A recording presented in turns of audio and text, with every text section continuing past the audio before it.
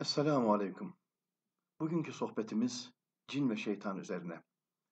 Evet çok insanı hakikaten meşgul eden, düşündüren, bazen yanlış düşüncelere sevk eden cin ve şeytan meselesi, insanlık tarihince bütün insanlığı elbette ki meşgul etmiştir. Allah'ın bir rivayete göre Hz. Adem'den insandan 2000 yıl önce yaratmış olduğu cinler, insanların gelişmemiş halidir. Yani diğer bir ifadeyle akıl kuvvesi duygusu olup sorumlu olan varlıklar olup ancak insan onun üç katı olaraktan gelişmiş. Hem akıl duygusu, hem kuvve-i akliye, kuvve-i şehviye ve kuvve-i gadebiye. Yani istek ve gadap duygusu olaraktan duygularına sınır konulmayan bir varlıktır. Tabiri caizse daha iyi anlaşılması için cinler ve şeytanlar ki şeytan da cinlerdendir. Kur'an-ı Kerim'de iki yerde geçer. Fefesaka minel cinni fekâne minel cinni. O cinlerden günahkar oldu. Fısk işledi, o cinlerdendir diye ayet-i kerimede şeytanın da cinlerden olduğu zaten açık bir şekilde ifade edilmektedir. Onlar tabiri caizse tek motorlu varlıklar, insan üç motorlu varlık, daha gelişmiş bir surette. Bununla ilgili e, zaten okulda cin konusu deyince öğrenciler hemen birçokların dikkatini geçiyor, çekiyor. Onun üzerine hocam şunu anlatsanız, şunu anlatsanız Artık onların soracaklarına gerek kalmadan zaten ne anlatacaklarını, soracaklarını, söyleyeceklerini bildiğimiz için genel bir özetleme durumuna gidiyorum. Onunla ilgili değişik zamanlarda yazmış olduğum tespitler.com adlı sistemdeki yazılar, o konuda televizyonda yapmış olduğum farklı zamanlardaki sohbetleri bir araya getirdim.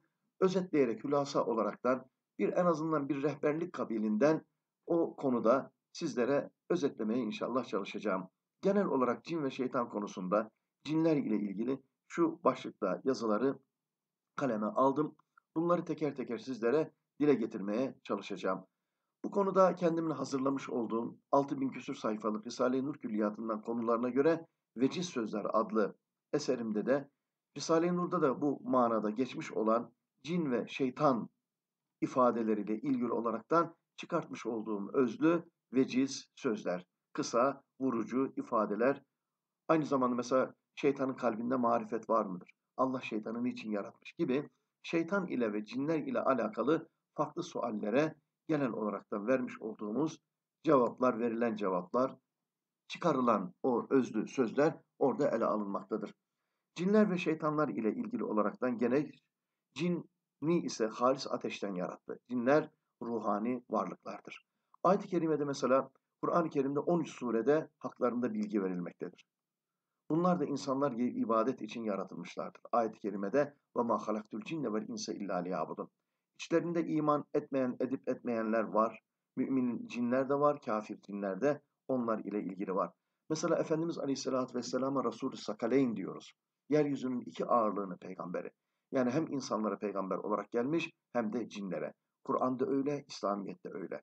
Böylece bütün bu her üçü de hem cinleri kapsamakta hem de insanları kapsamakta. Onunla ilgili yazmış olduğum uzunca yazı ve makaleyi burada geniş zaman içerisinde en azından bakıp 2001 yılında yazmışım. İstifade inşallah edilebilir. Onunla ilgili bunlar da dipnot olaraktan arz etmiş oldum. Ve diğer bir daha önceki bununla ilgili yapmış olduğum mesela Cin suresi bir, bir surenin adı Cin suresi onunla ilgili yapmış olduğum sohbet, yine cin ve şeytan ile ilgili özellikleri, durumları, vasıfları, onların özellikle mesela istihdam edilmesi ki Kur'an'da açıkça ifade ediyor. Sure onunla ilgili gelmiş, ifade etmiş, açıklamıştım.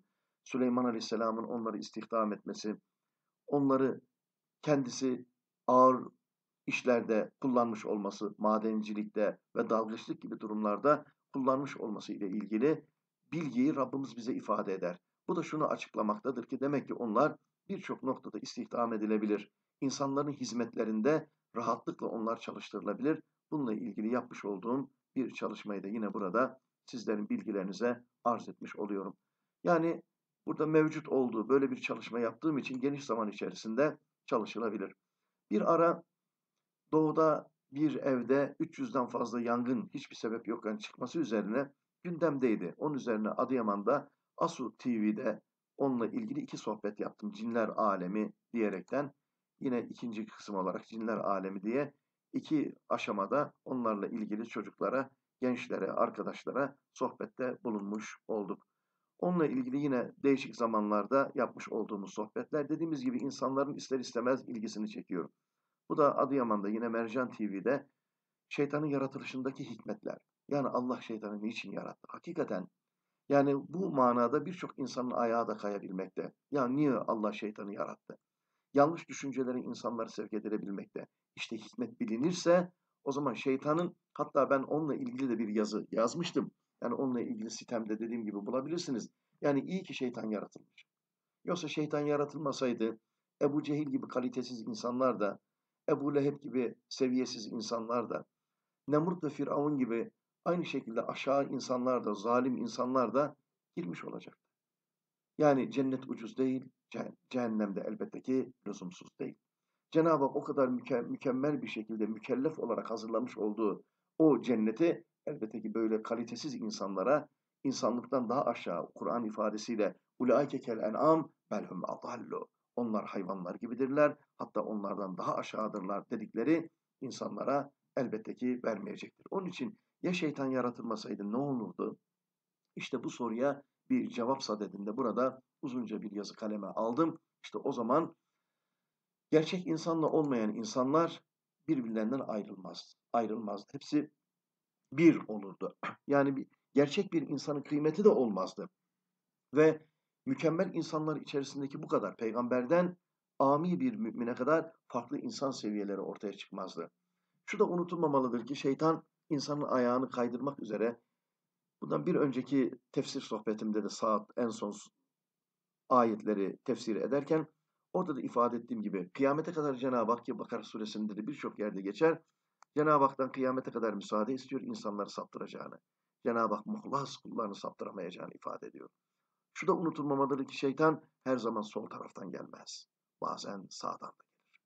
Onun ilgili olaraktan yazmış olduğum yazı ve makaleler. Evet şeytanın tuzakları bilinmeyecek derecede, sayılmayacak derecede çok farklı farklıdır. Her türlü tuzağı insanlara kurar. Bu zamanımızda da onun birçok örneklerini görüyoruz. Virüs işte onun şeytanın bir ürünüdür. Kötü insanların kulaklarına fısıldamış olduğu onun bir silahıdır. Onunla ilgili yazmış olduğum yazı. Evet Allah ayrıştırıyor. Yani ayrım yapmıyor, Allah ayrıştırıyor. Sebebi ise dediğim gibi yani aynen Efendimiz buyuruyor insanlar madenler gibidirler. Nitekim kömür, bakır, gümüş, altın, elmas hepsi madendir. Ama ateşe girince hepsi birbirinden ayrıştırılıyor. Ateş olan şeytan da böylece insan madenlerinin birbirleriyle ayrışmasına bir vesile ve sebep olmuş oluyor. Böylece gerçek iman eden müminleri Cenab-ı Hak o şeytan vesilesiyle de ayrıştırmış oluyor. Evet Cebrail ile şeytan kesinlikle birbirleriyle ba bağdaşmaz. Aynen bu zamanda da olduğu gibi şeytanlar şeytanlığını yapıyor, herkes tinetini yapıyor. Yani ondan dolayı Kur'an-ı Kerim'de küllin nasi ala şakileti fe rabbukum alemu bimen huve ehda sebila. Bu ayet beni çok düşündürür. Başıma da geldiği için bu ayetin hakikatinin nispeten de olsun görmüş oldum. Yani herkes kendi tinet ve karakteri doğrultusunda hareket eder. İsra suresinin 84. ayeti bu manada yılan yılanlığını yapacak, tilki tilkiliğini yapacak, Cebrail Cebrailliğini, şeytan şeytanlığını yapacak. Bunlar kıyamete kadar birbirleriyle barışmaz. Çünkü tinet ve karakterleri farklı farklıdır. Evet şeytanın hilesi Kur'an'da da ifade ettiği gibi zayıftır. Hatta ondan dolayı insanlar ahirette şeytandan davacı oldu, olacakları sırada o da Allah'ın bu sözünü hatırlatacak. Onun hilesi zayıftır. Yani ben size hafif bir fısıldadım, bir el ettim. Öbür taraftan güneş gibi Kur'an'ın, dinin, peygamberlerin hakikatları varken benim zayıf, sönü, kıymetsiz, ehemmiyetsiz hileme kapıldınız, peşime geldiniz. Bir ömür boyu hiç düşünmediniz. Peşimde sürdürdünüz, devam ettiniz. Ve bir yazı kaleme almıştım. Şeytan Kabe'yi işgal edecek. Bunun alametleri de maalesef görülmektedir. Yani gaybı Allah bilir. Ama bazı hadislerdeki bazı şeylerden hareket ile hatta daha olmamışken Suriye yani diğer bir ifadeyle Şam, Yemen ve Kabe'nin tehlike ve riskte olduğuna dair bir yazı kaleme almıştım. Evet Kabe maalesef şeytan Kabe'yi de işgal edecek ve onun avanileri de o işgale kapı açacaklar. Onunla ilgili yazmış olduğum bir yazı. alametleri belirtilirdi ma- maalesef. Şeytanın krallığı. Evet artık herhalde şeytan şu anda dinleniyor. Avaneleri, yardımcıları, vezirleri vesaire o işi hakikaten görüyor gibi. Onunla ilgili bir yazı kaleme almıştım. Şeytan krallığını bu asırda özellikle 21. asırda krallığını, dünya krallığını hakikaten tam manasıyla ilan etmekte. Ama zulüm devam etmez. Krallığı inşallah çok sürmez. Evet rahmetlik babamın, rahmetlik babamın sen hiç şeytan gördün mü şeklinde bir kıssası yaşamış olduğu bir şey olduğu içindir ki şahit olduğu bir şey. Onu ele almıştım. Bu da kıssadan hisse olması için merhum babamın ve sizin tüm geçmişlerinizin geçmişlerine rahmet olması vesilesiyle bu kıssayı da okuyayım. Abdurrahman Efendi inançlı ve ibadetine ihtimam gösteren bir insan idi. Rahmetlik babamın arkadaşı. O gece mübarek gecelerden beraate vesile olacak beraat gecesiydi. Böylece o geceyi değerlendirecek, cemaatle ibadete iştirak edecekti. Bu amaçla abdestini aldı namaza hazırlanmıştı. Yatsı ezanının okunmasını beklemekteydi. Komşusu Cemal ise kendisinin tam tersine ilgisiz bir insan idi. Ezanı beklemekte olan Abdurrahman bir anda komşusu Cemal'le karşılaşır. Onunla konuşmaya başlayan Cemal çok da lafazan biridir. Sürekli konuşur. Abdurrahman Bey ise sırf saygısından ve komşuluk hürmetinden dolayı onu dinler. Faydalı olabilirim düşüncesiyle sorularını da cevaplayıp bir şeyler anlatır. Sohbet o kadar koyulaşmıştır ki ne kadar bir zamanı geçtiğinden sadece Abdurrahman Bey habersizdir.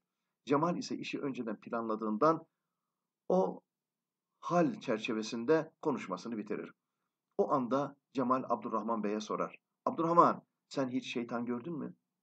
O da gayet saf ve masum bir şekilde Allah korusun Cemal, Allah kimseye göstermesin. Söze devam eden Cemal, işte şeytan benim, görmediysen gör der ve sebebini de açıklamaya başlar. Ben bu gecenin beraat gecesi olduğunu bildiğimden dedim ki bu gece beraat ve namaz gecesi. O gecesidir ki ben şu Abdurrahman'ı namazdan alıkoymak için lafa tutayım, ibadetten alıkoyayım dedim ve işte yaptım. Abdurrahman Bey ise gerçekten saatine bakar ki epeyce de vakit geçmiş. Yine de Cemal'den ümidini kesmez ve ona namaza ne zaman başlayacağını sorar. Cemal ise daha genç olduğunu, belki ileride kılabileceğini söyler ve ayrılırlar. Bir şeytanlığını yapmış, onu ibadetten alıkoymuş iken öbürü de aldanmanın hüznünü yaşamaktadır. Bir şer bütün hayırların şuursuzca ortaya çıkmasına sebep olmakta ve bir şer binlercesini kendisiyle meşgul edip uğraşmaktadır. Mesela bir hırsız için hapishaneler, polisler, kilitler, kasalar ve yalanlar ile güvensizlikler oluşmaktadır. Bu düşünceyle Abdurrahman Bey eve gelir. Cemal'den ayrılalı 15-20 dakika ancak olmuştur. Hanımı kendisine Cemal'in öldüğü haberini verince önce irkilir, sonra da inanmak istemez çünkü daha az önce beraberdi. Bu şaşkınlık ile hanımına bir yanlışlığın olabileceğini söylerse de hanımı gerçekten öldüğünü, evlerinden de hala ağıtların gelmekte olduğunu söyler. Cemal gerçekten ölmüştür. Böylece ölüm her şeyden insana daha yakın olduğunu bir daha göstermiş olmaktadır. Hem ölüm ona ulaşmış hem de yaşı ölüme yanaşmıştır. Diyebiliriz ki hala ne diye oyunda oynaştasın sen ki, sen ki artık ölecek yaştasın. Tüm ölmüşlerimizin, geçmişlerimizin ruhu için, Allah rızası için El Fatiha.